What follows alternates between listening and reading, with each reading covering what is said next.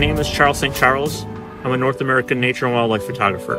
I've tried to put together a video that spans the entire year and shows both the beauty of nature across the seasons and some great conservation successes, as well as simple projects that anyone can start with before working up to more challenging projects.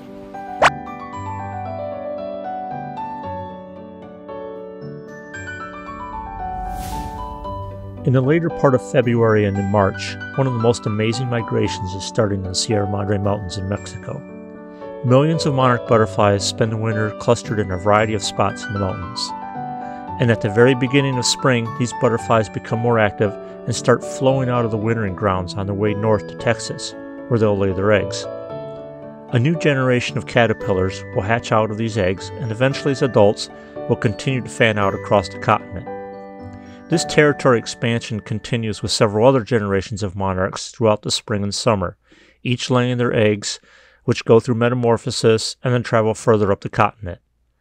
I've been fortunate enough to visit the monarch wintering grounds numerous times.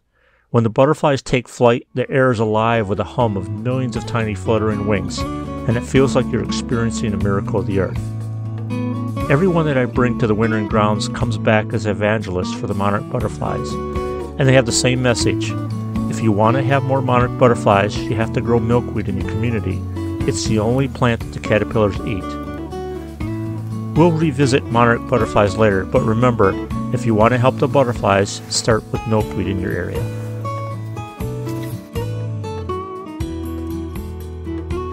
When you get done watching this, please leave a post about projects that you know of or maybe have worked on to help nature. I'd like to cover more stories like that and pass on the inspiration of what we can accomplish when we try.